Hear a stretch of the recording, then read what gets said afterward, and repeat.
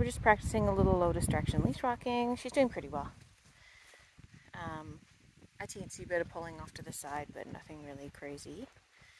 Uh, I'm still feeding her fairly frequently, just by my side as usual, right behind my leg. Let's go.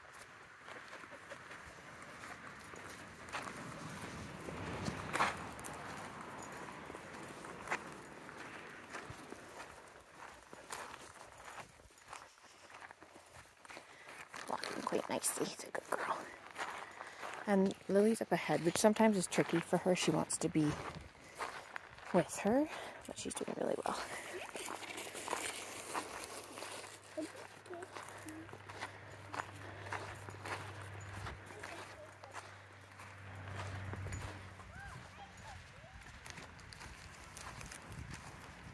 Take a girl.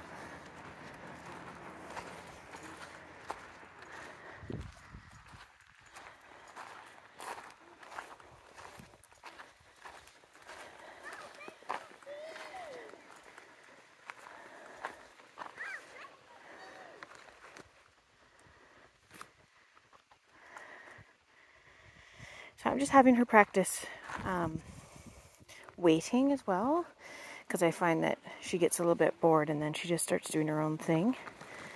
So just sitting beside me in heel position because she'll start to just kind of come and stand in front or she'll go darting off to the side. So as long as she's in here, I don't care if she's sitting or not. She wants to do a little sniff, that's fine. But I'm going to reposition her if she sits facing me.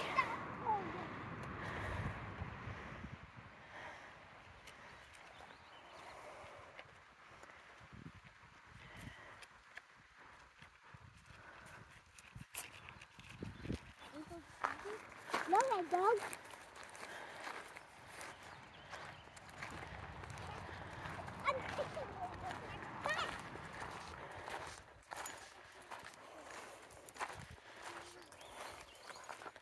So this is pretty easy for her. We'll do some more in in in public walks. A little pulling there. Always have her come back as soon as she gets out of position. Good girl. I think the hotter she gets, the less I'm gonna let her go because she's doing good. Good girl. Okay. Hey, you want Find a toy. mine? Did you find a toy?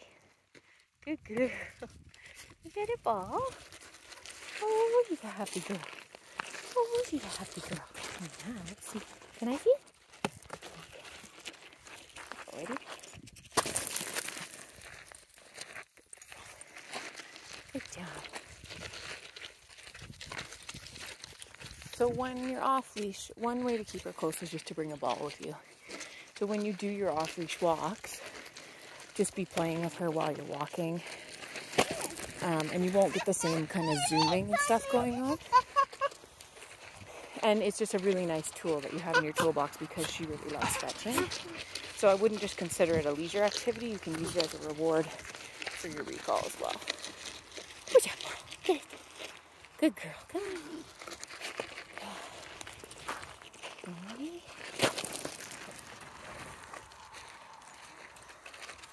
And you can use it for all kinds of stuff. You can use the ball as a reward for heeling too. So if I hold the ball here, here, show. That ball is yucky. Good boy, girl. Drop, please. Shell. Good girl. Okay. Um, I can get her back into heel position here. There you go. Just guiding her with my hand. Very nice. And I can have her walk with me a couple steps. Yeah. Good. A little jumping is okay the ball's exciting. Yes, go. And then throw it. So just a little, you know, you can practice things like that with her, with the ball while you're walking. And that encourages her to stay close when you're off leash as well. Because she's so focused. It's a good habit.